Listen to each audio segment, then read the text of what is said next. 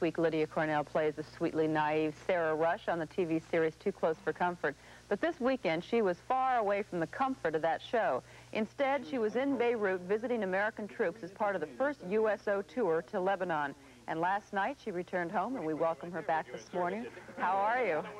Oh, I'm fine. I'm safe and alive, thank, thank God. Well, you know, most people are home on Christmas Eve with their families eating turkey, and there you were, I think you went to what, just about every single different camp there was. We saw every Marine. And what every... did you see? What did you see there? Physically, what does it look like?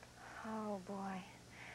Physically, it's, it's indescribable. I mean, you've seen the footage. You know what it's like. It's all bombed out buildings. It's being rebuilt, though. The roads are starting to be repaved. But where are our men staying? Our men, okay, the Marines are mainly in mud, um, kind of, you know, MASH, the show MASH, uh -huh. kind of grungy, muddy units and they're in the, the remains of bombed out buildings. And they're living, they've made little homes for themselves, and they've been quite happy, little Christmas trees, and they're decorating.